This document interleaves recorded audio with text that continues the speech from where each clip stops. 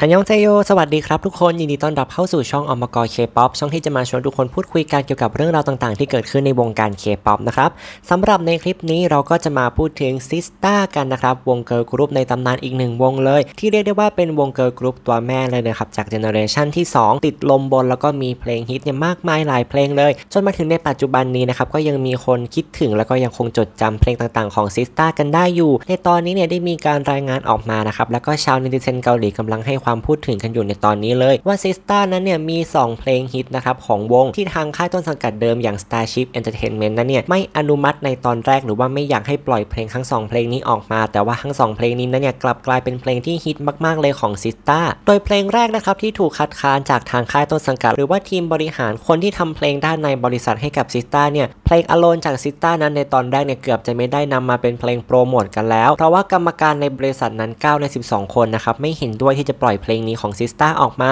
แต่ว่าสุดท้ายแล้วเนี่ยเพลง Alone ก็สามารถปล่อยออกมาได้ แล้วก็กลายเป็นอีกหนึ่งเพลงของ SISTAR นะครับที่ฮิตมากๆ ทั้งท่าเต้น ทั้ง MV แล้วก็การพูดถึงรวมไปถึงยอดชาร์ตในตอนนั้นเนี่ยถือว่าปังมากๆเลย นอกจากนั้นยังมีอีกหนึ่งเพลงนะครับเราเชื่อเลยว่าเพลงนี้เนี่ยทุกคนจะต้องรู้จักอย่างแน่นอน และก็ต้องมีคนเนี่ยเคยเต้นอย่างแน่นอน นั่นก็คือเพลง Ma Boy นั่นเองนะครับของ SISTAR ที่เป็น unit ย่อยจากสมาชิกใน SISTAR นะครับนั่นก็คือโบราแล้วก็ฮโยลินนั่นเองนะครับหรือว่า SISTAR Nineteen นั่นเองนะครับเพลง Ma Boy เนี่ยบอกเลยว่าปังมากๆไวรัลมากๆ เชื่อว่าทุกคนเนี่ยจะต้องร้องได้เต้นได้กันอย่างแน่นอน โดยเฉพาะท่อนฮุกนะครับ Ma Boy โอ Ma Boy แล้วก็ท่าโยกโยกโยกจนในตอนนี้เนี่ยกลับกลายมาเป็นไวรัลอีกครั้งนะครับใน TikTok แล้วก็ใน Instagram Reels ที่หลายๆคนนำมาเล่นต่อกันนะครับโดยการใช้เพลง Ma Boy แล้วแล้วก็ฟิลเตอร์ที่เป็นคลื่นคลื่นนะครับเพียงแค่เรายืนอยู่เฉยๆเนี่ยแล้วก็นำฟิลเตอร์นั้นมาใช้ ก็จะเหมือนกับเรานั้นกำลังเต้นเพลง Ma Boy กันอยู่เลย แล้วก็เป็นไวรัลไปโดยเช่นเดียวกันนะครับเพลง Ma Boy นี้เนี่ยก็เป็นอีกหนึ่งเพลงที่ทางค่ายต้นสังกัดนั้นเนี่ยในตอนแรกนั้นจะไม่อนุมัติหรือว่าไม่ให้ปล่อยเพลง Ma Boy ออกมา เพื่อเป็นเพลงของ SISTAR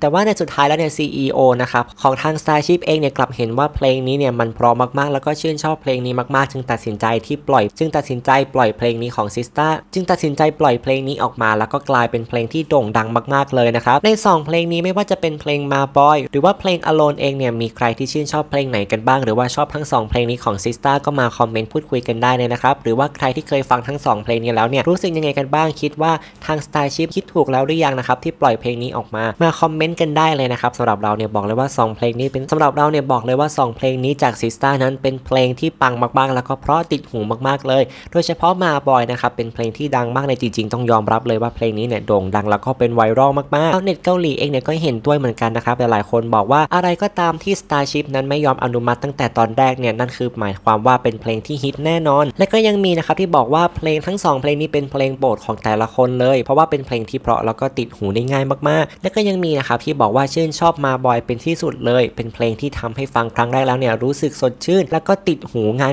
มากๆ จนถึงทุกวันนี้ก็ยังฟังกันอยู่สำหรับใครเนี่ยที่ชอบทั้ง2เพลงนี้อย่าลืมมาคอมเมนต์พูดคุยกันนะครับ แล้วก็อย่าลืมมาติดตามเป็นกำลังใจให้กับสมาชิกทุกคนในซิสต้ากันด้วยสำหรับคลิปนี้ก็ต้องขอตัวลาไปเพียงเท่านี้นะครับกลับมาเจอกันใหม่ในคลิปหน้าอย่าลืมกดไลค์กด Subscribe เป็นกำลังใจให้กันด้วยนะครับ สวัสดีครับ อันยอง